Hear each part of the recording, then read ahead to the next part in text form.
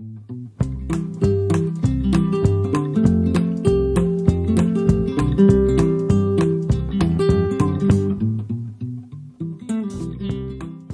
we had this great big old buckskin horse, and everywhere we used him, he'd buck every day, at least once, and we never could figure out what the deal was. But if I'd ride him, I could either feel him better or something because he wouldn't buck with me. It used to really tick my husband off because every time he'd get on this horse, I mean, he would rip.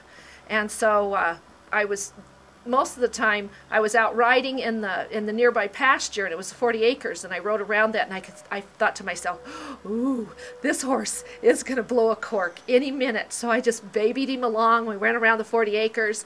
Um, before that, I told my husband, I said, "I want to ride Buck," and he said, "Oh, you can't ride that sucker. He's way too much for you." And I said, "Oh, I want to ride Buck." So he said, "All right. I told you you have trouble with him." So anyway, I was coming back and I re- remembered what Jake had said, and when I got back to the house, I said, "Oh, there's nothing wrong with him. He's fine." And I said, "I'll put him up." And he said, "No, no, don't put him up. I'm going to ride him."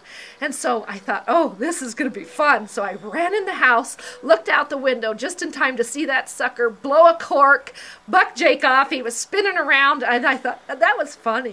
and so um, I never told Jake that until quite a few years later that I had done that. But then actually later on, Buck I was riding him when the boys were practicing, and uh, I got mad at him because he wouldn't turn like I wanted him to, so I spurred him in the shoulder. Wouldn't you know, he blew a cork with me that time, and I remember ending up on my back, and I couldn't breathe, and Jake come over and he said, see, I told you he was a bad one!